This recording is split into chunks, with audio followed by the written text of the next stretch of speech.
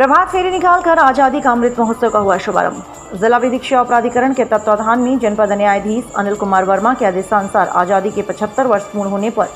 उपलक्ष्य में आज़ादी का अमृत महोत्सव 2 अक्टूबर से 14 नवंबर तक चलने वाले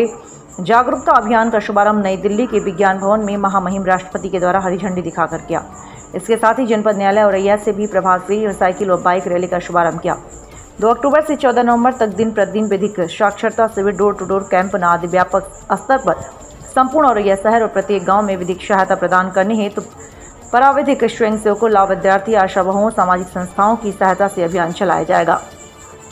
उद्घाटन कार्यक्रम पश्चात जनपद के तिलक महाविद्यालय में बच्चों, एनसीसी क्रेडिट लॉ कॉलेज विद्यार्थियों, परावधिक स्वयं सेवकों मानवाधिकार समाज सेवी संस्था की उपस्थिति में प्रभात फेरी, जनपद न्यायालय औरैया से शुरू होकर नगर भ्रमण में की गई, जिसमें आज़ादी का अमृत महोत्सव के अवसर पर वैदिक सेवाओं में आम जनमानस के अधिकारों का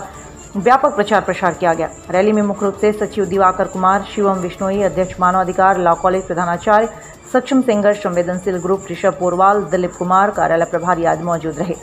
संवाददाता अमित कुमार शर्मा और